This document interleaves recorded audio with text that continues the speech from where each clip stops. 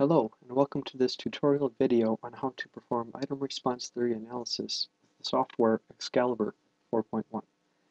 Xcalibre 4.1 is produced by Assessment Systems Corporation and can perform both dichotomous and polytomous, or mixed dichotomous and polytomous, analyses with item response theory. In addition to producing spreadsheets of the parameter output, it makes a detailed Microsoft Word report complete with inserted tables, graphics, and narratives to help you efficiently evaluate the quality of your assessment.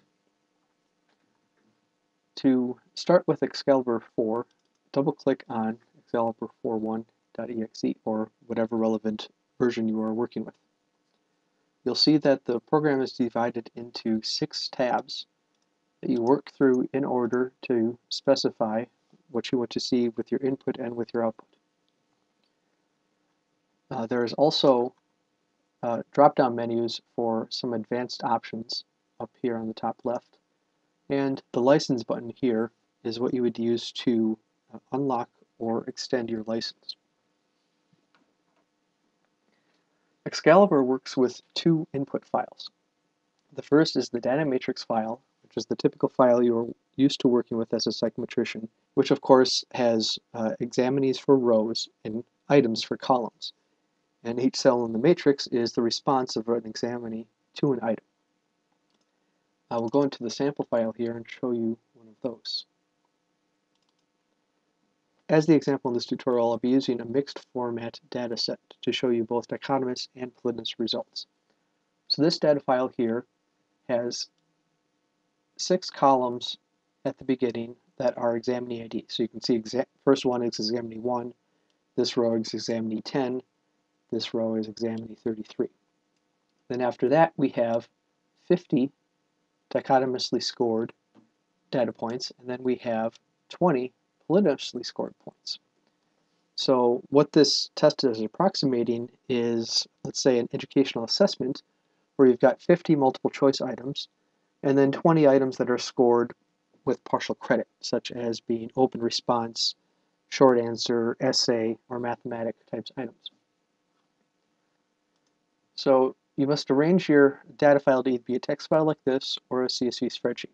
If it's a text file, you need to note how many columns are for the item ID, or examinee IDs and which column the actual data begins in. And in this case, we have six columns of ID, and the data begins in column number seven.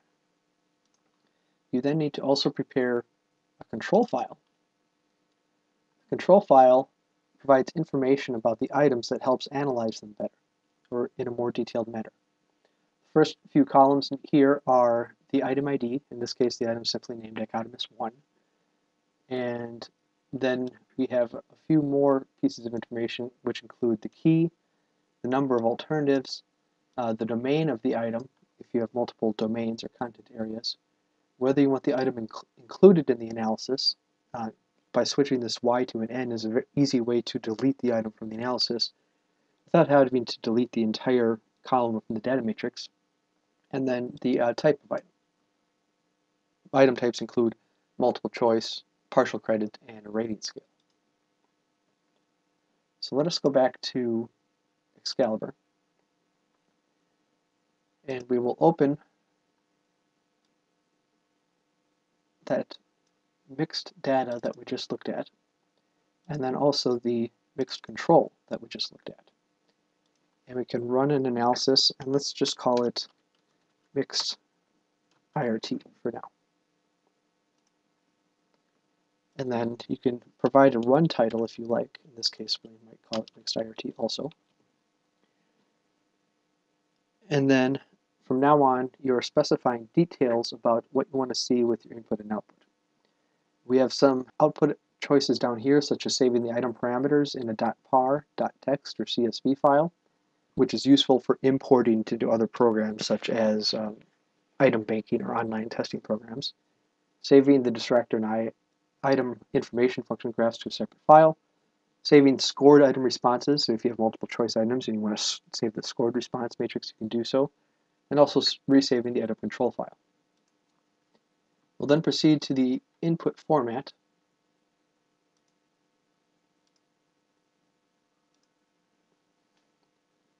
And as I previously mentioned, we have six examinee ID columns, and the item responses begin in column number seven. You can change the omit character and the non-administered character to work with whatever you feel comfortable with. Um, in this case, we have zero for an omit and a dash for not administered. You could also put uh, N for not administered. Um, if you prefer working in a different language other than English, you can even put uh, different letters for whatever omitted and not administered mean in your language. Uh, we then have a choice down here for including differential item functioning analysis. Uh, what this means is that suppose you had a column in your data matrix that was male and female, so a column in the text file that was M or F for each examinee. You could do an item, differential item functioning analysis to look at the results of each item with males versus females. You can then choose uh, our, the model we want to look at. And uh, you can work with both dichotomous models and polytomous models, but as I mentioned in this case, we're going to work with a mixed model in that we have 50 dichotomous items to use the three parameter and 20 items with which to use the generalized partial credit model. So these are the two most generalized models to use on this type of data, and we'll see how these fit. If you like, you could run the program multiple times on different competing models and compare the results. We'll then proceed to the calibration tab, where you can choose the prior distributions for the A parameter, the B parameter, and the C parameter. These are just defaults. You can change these to be different priors if you want to. For example, if you know that the type of data you work with typically has an average A parameter of 0.8, you could put in 0.8 here as the mean expected A parameter. And because we're dealing with, let's say, four option multiple choice here, is we're assuming that the mean C parameter is going to be 0.25. Uh, but if your items have a different number of alternatives, you can specify using 1 over the null for alternatives, and it would update appropriately. The use of floating priors means that as the analysis progresses through different rounds of estimation, priors will be updated based upon the results of previous rounds. You can then choose uh, how long you want your calibration to go and how detailed you want the results or how accurate. The IRT analysis is done in loops, which means that the analysis will do one loop, estimate the results, check to see how it fits, and then if it uh, is not sufficient, it will go do a whole nother loop of re-estimating the theta parameters and the item parameters. And you can set the maximum number of loops because if you have very poor fitting data, Xcalibre might go 100 or 200 loops and never reach a satisfactory result. So you have to set a maximum of, let's say, in this case, 60 loops, or you could even go as low as 20 loops. Uh, a related thing is the convergence criterion, and this is when you would like Xcalibre to stop in terms of item parameter uh, accuracy. So uh, item parameters are re-estimated at the end of every loop, and it will then check to see how much each item parameter has changed. Um, and if every item parameter is changed by less than this criterion, it will stop. So for example, if our maximum is 20 loops, but it finds after 14 loops that no item has changed by more than 0.001, it says, okay, we've already reached a stable result and we can stop here at 14 loops. We don't have to go all the way to 20. The number of quadrature points is the number of um, points on the theta scale that you divide the sample up into groups. And more quadrature points in general will lead to a finer grained analysis of the data. However, you need to also consider your sample size. So that if you have a sample size of, let's say, 400 students, and we have 40 quadrature points, that means that we're dividing it into 40 groups. So there's only 10 students in each group, and 10 students is a pretty small sample size. So in this case, we have 1,000 students in our data matrix, so we might want to reduce this to, let's say, 20 quadrature points, which would mean that there would be 50 in each group. You then have a choice of whether you want to center to that dichotomous item parameters on theta for uh, a more true IRT analysis, or if you want to center on B for a Rasch style analysis. You can set flags or a sort of gateway of which items you want to include in the IRT calibration by placing bounds on the classical statistics. So for example, if you do not want to include any items with a p-value of less than 0.4 in your analysis, you could specify that here. Uh, the same goes for the item mean range for the polytomous items, which is conceptually similar to the p-value, but not exactly the same because it ranges above 1. Um, you can also specify the item correlation range, for example, if we do not want to include any items with a negative point biserial. You have a choice of whether you want to include a spuriousness correction in the item total score correlations. Um, and you can also exclude items for calibration if the number of valid responses is less than a certain number. Uh, this is useful if you did a pilot test with, let's say, um, randomly chosen items. So you've got a bank of 200 items. Every student saw 100 items that were randomly chosen from the bank, and there might be some items in the analysis that did not have a sufficient number of responses, and you can decide to exclude those. Uh, we can then choose the theta estimation method. Uh, maximum likelihood is the most common, and we can compute scaled scores if we wanted to transfer these to a scaled score. Uh, you have a choice of producing a two-group classification in the output. So for example, we want to have a cut point of 0 for pass or fail. We can specify it like this.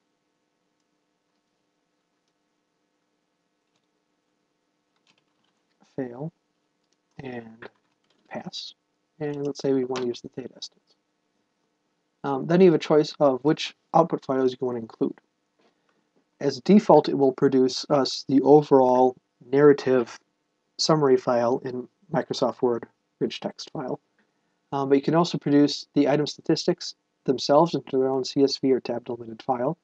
You can produce the examinee scores and subscores into a CSV or tab delimited file you can output the test information function into its own file, as well as a large table of the item information functions into their own file.